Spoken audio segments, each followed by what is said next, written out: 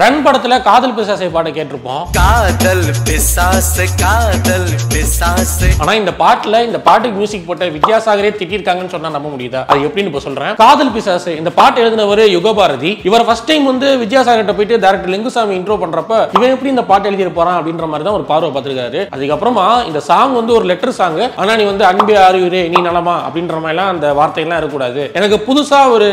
ஒரு காதலன் ஒரு காதலி கேட்டு கொடுக்குற மாதிரி எழுதுன்னு சொன்னோன்னே கூட நான் எழுத முடியாது அப்படின்னு சொல்லிட்டு யுகபாரதியை வெளியே வந்துட்டாராம் அதுக்கப்புறமா லிங்குசாமி வந்து கொஞ்சம் கன்வின்ஸ் பண்ணி யுகபாரதி கால் பண்ணி நீ எழுதுங்க அதுக்கப்புறமா அவர் பிடிக்கலாம் பார்த்துப்போம் அப்படின்னு சொன்னோன்னே வேண்டா விருப்பம் எழுத ஆரம்பிச்சிருக்காரு காதல் பிசாசு அப்படின்னு சொல்லிட்டு ஒரு லைன் போட்டு அதுக்கப்புறமா லைன் எதுவுமே போகல ஒரு ஃப்ரெண்டுக்கு கால் பண்ணிக்கிறாரு எப்படி மச்சா இருக்கு அப்படின்னு கேட்டோட ஏதோ இருக்கேன்டா அப்படின்னு சொல்லிக்கிறாப்ல உடனே அதையே ரெண்டாவது என்ன வச்சுட்டாப்ல காதல் பிசாசே காதல் பிசாசே ஏதோ சௌக்கியம் பரவாயில்லை அதுக்கப்புறம் வர லைன் எல்லாமே வந்துட்டு அவரோட அப்போதைய மனநிலை வித்யாசாகரை வந்து மனசை திட்டே இருந்தாராம் ஆனால் இந்த பாட்டு வித்யாசாகர் ரொம்ப பிடிச்சி போச்சு அதுக்கப்புறமா இந்த காம்போல நிறையா பாடல்களும் வந்து வெளிய ஆரம்பிச்சிச்சு